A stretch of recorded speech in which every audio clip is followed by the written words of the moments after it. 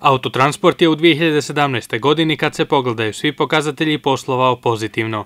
Prihodi su bili nešto manji nego 2016. ali su i troškovi bili umanjeni, navodi Branko Kljajić, direktor ovog prevozničkog preduzeća. S druge strane i dalje izražen problem naplate potraživanja. Druga stvar je, ovaj, kad gledamo rezultate, pozitivni, ali ono što nas tišti u ovom sistemu našem, svakako likvidnost. Znači, puno nenaplaćenog, a za za tu realizaciju su svakako imali određene troškove, poreze i tako da koje smo morali da izmirimo. Znači onda dolazimo u neku, neku situaciju da imamo na papiru pare, ali fakcije nema.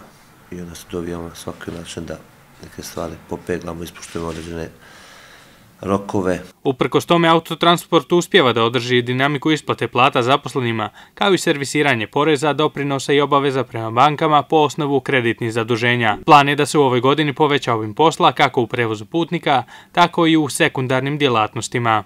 Planujem se da ovaj obim posla povećavamo, znači da više kilometara pravimo, više prevezenih putnika, što nam je i osnovna djelatnost, da povećavamo aktivnosti ovdje što tiče u autoservisu, znači više proizvoda, više usluga, prvenstveno na tehnički pregled, uh, usluge baždarenja tahografa, certificiranje i neka ideja koja će možda zaživiti u ugodne svakako snabdjevanje sa rezervnim dijelom, ne samo za naše potrebe, nego i za druge korisnike. Kontinuirano će se raditi i na zanavljanju voznog parka kako bi se putnicima obezbijedio bezbjedan i konforan prevoz. Naravno, sve u skladu s mogućnostima. Rast cijene goriva traži i racionalizaciju troškova kroz nabavljanje kombija koji se koriste za linije i dnevne polaske sa manjim brojem putnika.